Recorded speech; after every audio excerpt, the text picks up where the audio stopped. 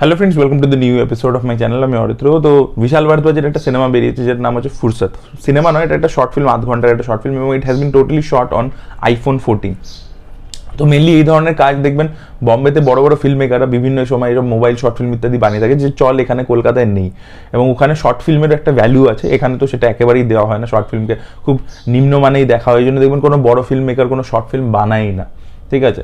আর ওয়েস্টে তো শর্ট ফিল্মকে আরও বেশি প্রাধান্য দেওয়া হয়, সেটাও না। তো বিশাল ভারদ্বাজ এখানে যেটা মোবাইল শর্ট ফিল্ম বানিয়ে দিত, তাই জন্য মোবাইল শর্ট ফিল্ম বলে আমি এটাকে ওয়ান লোকেশনে বেস করে দেবো, এই করে দেবো এই করে দেবো।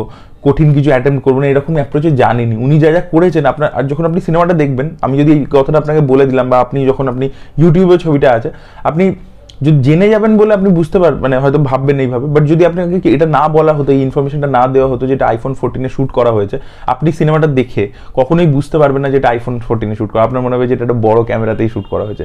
কোয়ালিটি ইজ সাচ লাইটিং ইত্যাদি যেভাবে ওটাকে ইউজ করেছে, দারুণ দারুণ দারুণ আর কি, ঠিক আছে? তো টেকনিক্যাল পয়েন্ট অফ ভিউ থেকে ইটস গ্রেট এবার যে হচ্ছে অ্যাপ্রোচটা যে সিনেমাটিক অ্যাপ্রোচটা সো এখানে দেখা যায় শাহিদ শাহিদ কাপুরের ভাই ঈশান খাট্টার। ও একটা, ওর কাছে একটা টাইম মেশিন আছে, ও ফিউচার দেখতে পায়, ঠিক আছে?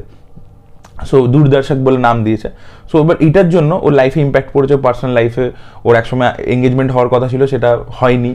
তারপরে ও আরেকটা মানে সব মানে ওখান থেকে একটা কিছু প্রেডিট করতে পেরেছে বা সেটাকেও আটকাতে আসছে, আদৌ কি পারবে কি পারবে না। এবার এই যে গল্পটা আমি আপনাদেরকে বলছি, গল্পটার লেভেলে কিন্তু এরকম নয় যে সায়েন্স ফিকশনে এমন কিছু দেখলাম, এমন কিছু টুইস্ট থাকল যেটা আপনার মাথা ঘুরিয়ে দেবে, তা কিন্তু নয় একেবারে। সেটা কিন্তু একেবারেই নয়।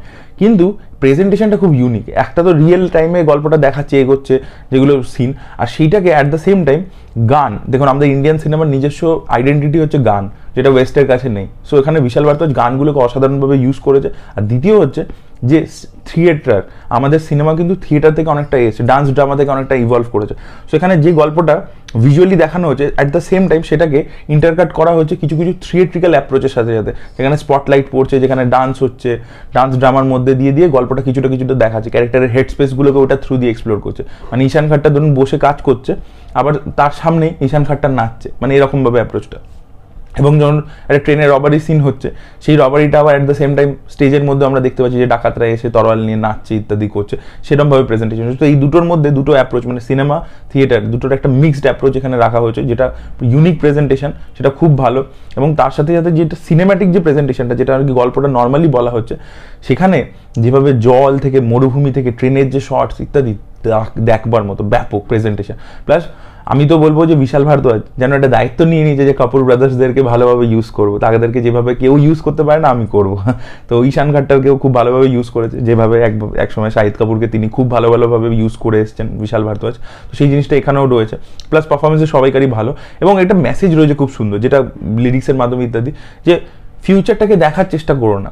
বক্তব্যটা এটাই যে ফিউচারটাকে তুমি যত বেশি ফিউচারের কথা ভেবে বা পাস্টের কথা ভেবে স্টাক হয়ে থাকবে, তুমি আজকের দিনে বাঁচতে পারবে না। You will lose that moment এটাই হচ্ছে মেন বক্তব্য শর্ট ফিল্মটা শর্ট ফিল্মটা কিন্তু বলছে যে, আপনি ফিউচারের কথা ভেবে আমরা আজকালকার দিনে দাঁড়িয়ে এত ফিউচার সিকিওর করব, এই করব, এই সেভিং করব, ওই করব, এত কিছু ভেবে ফেলি বা আমাদের রিলেশনশিপ নিয়ে ইত্যাদি নিয়ে যে ফিউচারটা ভাবতে গিয়ে আমরা প্রেজেন্টটাকে রুইন করে ফেলি। সেইটাই বলার চেষ্টা করছে এটা।